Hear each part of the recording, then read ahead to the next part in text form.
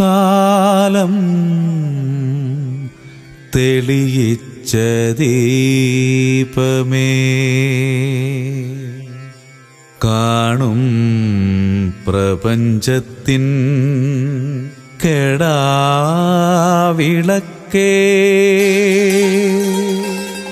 മനസ്സിൽ വിരിയുന്ന പുഷ്പമേ. മലങ്കരയുടെ പൊന്മാണിക്യമേ. മനസ്സിൽ വിരിയുന്ന പുഷ്പമേ. മലങ്കരയുടെ പൊന്മാണിക്കമേ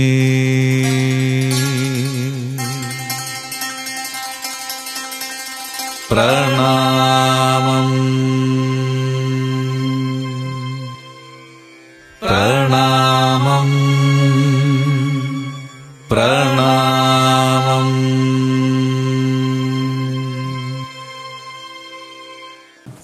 നമ്മുടെ സഭയിൽ അനേകം പ്രസ്ഥാനങ്ങളുണ്ട്. കോൺവെന്റുകളുണ്ട് ദേറാകളുണ്ട് മിഷൻ സെന്റേഴ്സ് ഉണ്ട് ശ്രീപാദാസ സമൂഹമുണ്ട് ഒക്കെ ഉണ്ട്. ഈ പ്രസ്ഥാനങ്ങളൊക്കെ ആരംഭിച്ചവരുടെ കാലത്ത് അത് കത്തിജ്വലിക്കും. ആരംഭിച്ചു കഴിഞ്ഞ് രണ്ടാം തലമുറയിലേക്ക് വരുമ്പോൾ അത് കുറേശ്ശെ മങ്ങാൻ തുടങ്ങും. കുറേ കഴിയുമ്പോൾ മങ്ങി മങ്ങി മങ്ങി ഏതാണ്ട് തിരി കെടാൻ പോകുന്ന പോലെ ഇരിക്കും അത് സ്ഥാപനങ്ങൾ അങ്ങനെയാണ് ഞാൻ ഇതുവരെയൊക്കെ കണ്ടിട്ടുള്ളത്. അത് എന്റെ ഭീഷണ കേട്ടോ. നിങ്ങൾ ഇതിനോടൊന്നും യോജിക്കുകയില്ലായിരിക്കാം. ഏത് പ്രസ്ഥാനവും അങ്ങനെയാണ് തുടങ്ങിയ ആളുകൾ അതിനുവേണ്ടി അത്യധ്വാനം ചെയ്യും. കാരണം അവർക്കൊരു വിഷൻ ഉണ്ടായിരുന്നു. അവർക്കൊരു ദൗത്യം ഉണ്ടായിരുന്നു. പക്ഷെ പിന്നത്തെ തലമുറയിലേക്ക് വരുമ്പോൾ നമ്മുടെ എല്ലാ നിന്ന് നോക്കിക്കോ. പ്രസ്ഥാനങ്ങൾ നോക്കിക്കോ. മിഷൻ സെന്റേഴ്സ് നോക്കിക്കോ. ഒരു കാലത്ത് പത്രോസ്മാർ ഉസ്താദിയോസിന് വേണ്ടി പത്രോസൻ ബാങ്ക് എന്ന് പറഞ്ഞ് കത്തിജ്വലിച്ച് നിന്നിരുന്ന ശ്രീപാദാസ സമൂഹം നോക്കിക്കോ. അത് കഴിയുമ്പോൾ അതിങ്ങനെ തിരിച്ച് കെട്ട് കെട്ട് കെട്ട് പോകും. ഇതൊരു അപ്രിയ സത്യമാണ്. ഈ സത്യം പറയാൻ പാടില്ല എന്ന് എനിക്കറിയാം. പക്ഷെ പറയാതിരിക്കുന്നത് മനസ്സിന്റെ അകത്ത് നൊമ്പരവുമാണ്. ഇതെന്തുകൊണ്ട് ഇങ്ങനെ സംഭവിക്കുന്നു എന്നൊരു ചോദ്യമുണ്ട്. ആ ചോദ്യത്തിന് എനിക്ക് പറയാനുള്ളത് മിഷൻ എന്ന് പറയുന്നാൽ വിഷൻ ഉണ്ടാകണം. വിഷൻ ഇല്ലാത്ത മിഷൻ ഒരിക്കലും കത്തിച്ചുടിക്കുകയില്ല അപ്പോൾ ഇതിന്റെ ഫൗണ്ടർ എന്ന് പറയുന്ന വ്യക്തിത്വത്തിന് ഉണ്ടായിരുന്ന വിഷൻ പിന്നീട് ഉള്ളവർക്കും ഉണ്ടാകുമ്പോൾ മാത്രമേ അതുപോലെ ജോലിക്കുകയുള്ള സാധാരണ എളുപ്പമല്ല അത് ഇപ്പൊ മദർ തെരേസ ഒരു വലിയ വിഷൻ ഉള്ളത് കൊണ്ടാണ് ഒരു വലിയ പ്രസ്ഥാനം തുടങ്ങിയത്. ഇനി അത് അതിന്റെ പിൻഗാമികൾക്ക് അതുപോലുള്ള വിഷൻ ഉണ്ടെങ്കിൽ അത് അതുപോലെ ഗംഭീരമായി കത്തി ജ്വലിക്കും അപ്പൊ എനിക്ക് ഓർപ്പിക്കാനുള്ളത് ഉത്തര ഭാരതത്തിലെ മിഷൻ തിരുവേനി തുടങ്ങി എന്നുള്ളത് വസ്തുതയാണ്. അതിന്റെ ബാലാരിഷ്ടതകൾ മുതൽ മൂന്നാം ക്ലാസ് ട്രെയിനിലെ യാത്ര ചെയ്ത് കോടാനുകോടി പണം സമ്പാദിക്കുക അത് പാവങ്ങൾക്ക് വേണ്ടി ചെലവ് ചെയ്യുക അങ്ങനെയുള്ള ഒരു ആകാശത്തോളം വിസ്തൃതമായ ഒരു ചിന്താ ചക്ര- ചക്രവാളവും ദൗത്യബോധവും വിഷനും ദർശനവും ഉണ്ടായതുകൊണ്ടാണ് ഉത്തരഭാരത മിഷൻ തുടങ്ങിയതും. ഇത്രയൊക്കെ വളർത്തി വലുതാക്കിയതും. ആ വിഷൻ നമുക്ക് നിലനിർത്താൻ കഴിയണം എന്നാണ് എനിക്ക് ഓർപ്പിക്കാനുള്ളത് മിഷൻ എന്നുള്ള വാക്ക് ഒരു മാഗ്നറ്റിക് വേർഡാണ് എന്റെയൊക്കെ ആദ്യത്തെ പാസ്പോർട്ടിൽ മിഷണറി എന്നാണ് എഴുതി വെച്ചത്. പാസ്പോർട്ട് പ്രിന്റ് ചെയ്ത് തന്നപ്പോഴേ അല്ല ഈ ഓഫീസർ ഇതും കൊണ്ട് ഗൾഫിൽ ആടാ നീ മിഷണറിയാണോ ഓ നിന്നെ ഇവിടെ കൊണ്ട് കരുതില്ല. എന്ന് പറഞ്ഞ് അടിച്ചു കൊടുക്കും പിന്നെ അത് മാറ്റി ഞാൻ പിന്നെ കാർപ്പന്ററും അല്ല കാർപ്പന്റർ അല്ല കേട്ടോ പിന്നെ പ്രീസ്റ്റായി ഇപ്പോ അല്ല, വാങ്ങിയതൊക്കെ നമ്മൾ ചിരിച്ചിട്ട് കാര്യമില്ല നിങ്ങൾക്ക് അറിയാവുന്നല്ലോ നിങ്ങൾ തന്നെ ചിരിക്കുന്നേ അപ്പൊ മിഷണറി എന്ന് പറഞ്ഞിരുന്നാൽ അലർജിയുള്ള പല രാജ്യങ്ങളുണ്ട്. നമ്മുടെ രാജ്യത്തും അത് തന്നെയുണ്ട്. അപ്പം എനിക്ക് പറയാനുള്ളത് മിഷൻ നന്നാകണമോ വിഷൻ ഉണ്ടാകണം.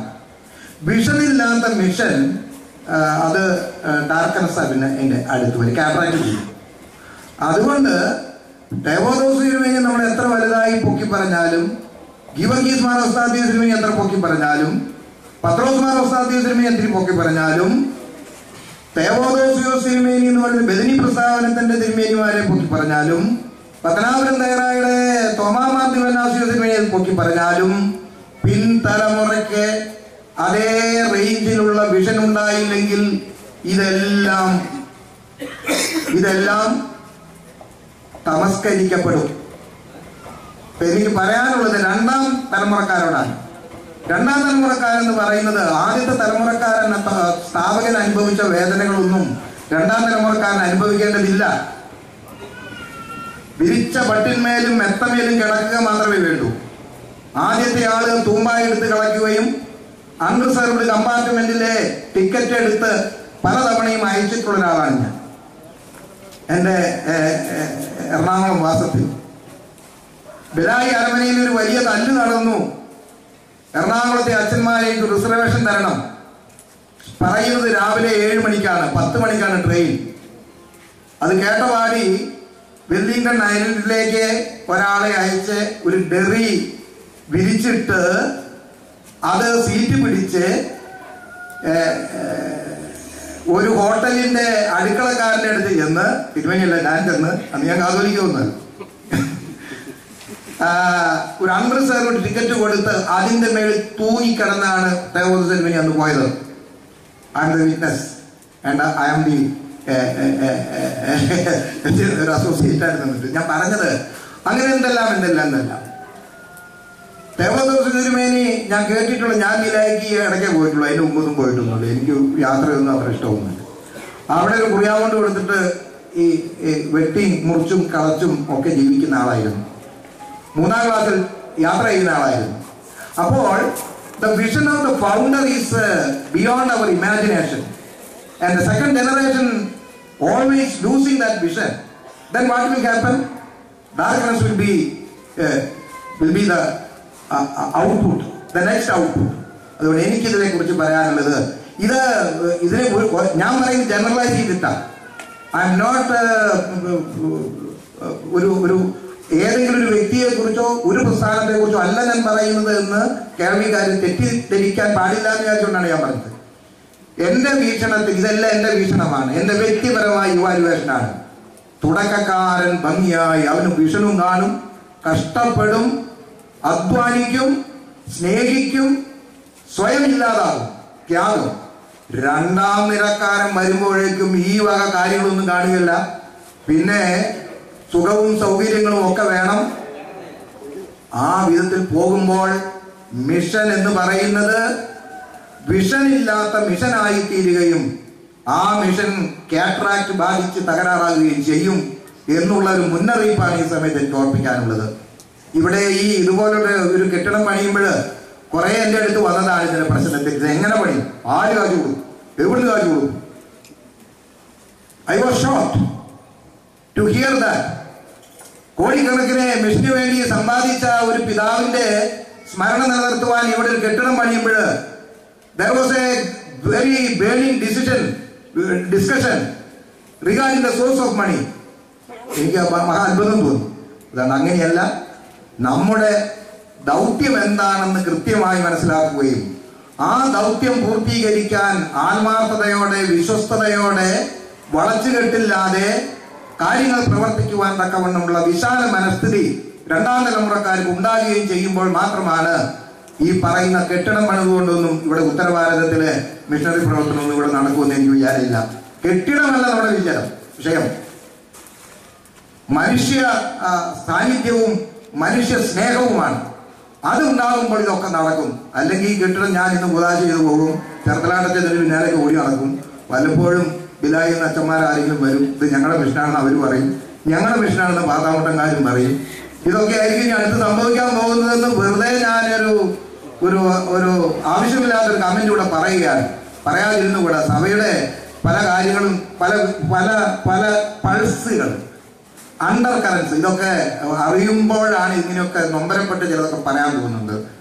Sorry I apologise for all these words to to speak out here പ്രിയപ്പെട്ട ഞാൻ വാക്കുകൾ അവലായിരിക്കുന്നത് അവിടെ പറഞ്ഞ് തീർക്കേണ്ട കാര്യമാണ്. ഇവിടെ ഈ ഈ മണ്ണിൽ മഞ്ചരെ നിർത്തി ഇപ്പൊ മഴയും കൂടെ പെയ്താൽ ഏമായിരുന്നു അപ്പൊ അത് അല്പം വിവേകമൊക്കെ ഉണ്ടെങ്കിൽ അതും കൂടെ അങ്ങനെയൊക്കെ ചെയ്താൽ മനുഷ്യർ അപ്രീഷിയേറ്റ് പോകട്ടെ.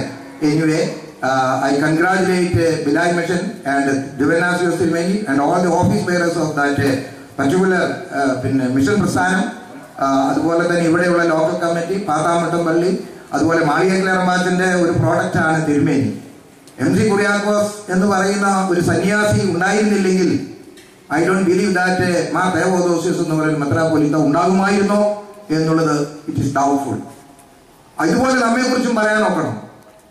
ഇന്നാൾ ഉണ്ടായിരുന്നില്ലെങ്കിൽ ഇന്നാൾ ഉണ്ടാകുമായിരുന്നില്ല എന്ന് പറയാൻ തക്കവണ്ണമുള്ള ഒരു ഒരു ദൗത്യബോധം നമുക്ക് ഉണ്ടാകുകയാണ് വേണ്ടത് എന്ന് വളരെ വ്യക്തമായി ഞാൻ ഓർപ്പിക്കുകയാണ്. എന്തൊക്കെയോ ഞാൻ പറഞ്ഞു. അപ്പൊ ഞാൻ വാക്കുകൾ ചുരുക്കുന്നു എല്ലാം ശുഭാപ്തി വിശ്വാസത്തിലൂടെ നന്മയ്ക്കായി ദൈവസന്നിധി സമർപ്പിക്കുക ദൈവം നടത്തിക്കൊള്ളും. ദൈവത്തിന്റെ കൃപയാണ് നമ്മുടെ ഭൂസ്വത്ത്. അല്ലാതെ കെട്ടിടമോ ധനമോ അല്ല. ദൈവത്തിന്റെ കരുണയാണ്. ദൈവം നമ്മോടൊപ്പം ഉണ്ടെങ്കിൽ എന്തും നമുക്ക് നേടാം? നിങ്ങൾക്ക് എല്ലാവർക്കും എന്റെ സ്നേഹവും ആദരവും അറിയിച്ചുകൊണ്ട് ഞാനിവിടെ ഉപസംഹരിക്കുന്നു